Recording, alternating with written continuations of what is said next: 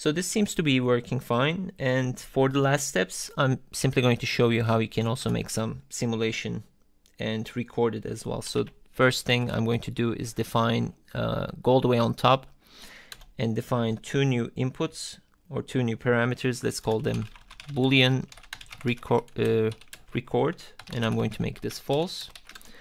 And the other one will be boolean run equals false. So run will be a variable we are going to use to run a simulation and record will be a variable we're going to use to um, export images. And I'm going to do these in inside draw. So here, for instance, we can do if uh, run is active. Uh, and we can also check for if frame count, in, uh, if it's 24 frames per second, you can simply do a mod 24 and if this is equals to zero so this was basically um, defining every second. So if run is active every second we want to increment z by one z plus plus and then do update right? So this is going to take care of um, the space. So we don't have to hit space. This will be automatically run. All we have to do is switch run on. And then we're going to show our boxes. And at the end we can check for if record so if we want to export the image then we can simply do save frame. And I need to type in uh, let's say cube dash hashtag hashtag hashtag hashtag dot jpeg. So what this will do is it will output um, each frame as a sequence so that you can convert them into a video clip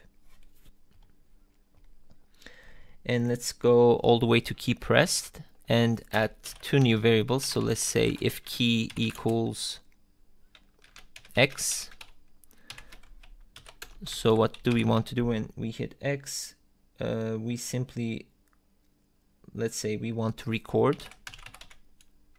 Record equals true. Or if you say record equals not record you can switch between recording and not recording and I'm going to copy this and make this one R and do the same thing for run, right? So we can toggle between um, running the simulation or not, or, or recording or not.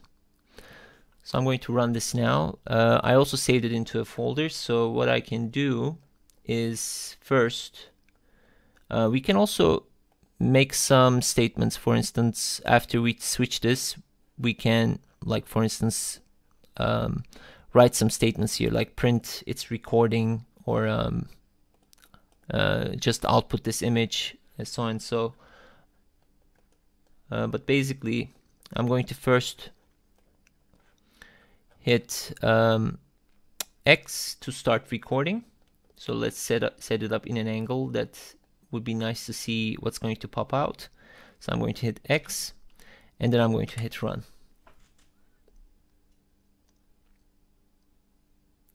So basically at each second it's generating a new layer and it's saving this as an image too. So I can also move around and look at it from another angle.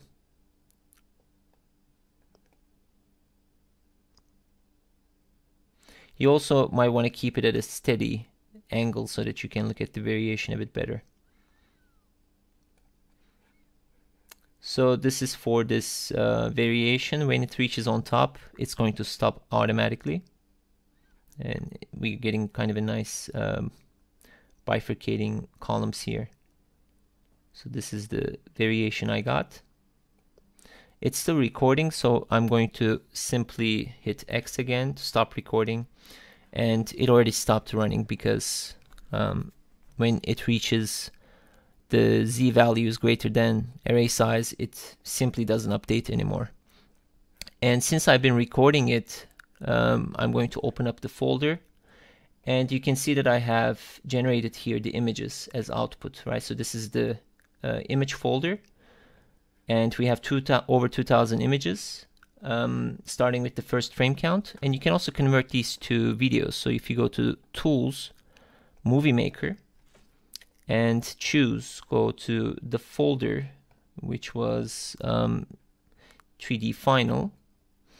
and hit open and it will automatically find the um, the images and our uh, size was 600 by 600 so you can type in 600 by 600 and frame rate could be 25 or 24 doesn't matter and we don't have any sound files so all I have to do is create movie uh, put it to desktop call it movie and it will combine all the images in a sequence and it will create it kind of an animation. And as I said all these variables like the resolution uh, for the initial patch the dimension the simulation box size the cellular automata rules as well they are customizable. So you can simply turn these true or false or write other types of if statements to change it. And you can also uh, play around with lights. You can play around with the input conditions. I made it randomized but you can make it maybe more symmetrical. And my movie is here so I'm going to open it so that we can look at it.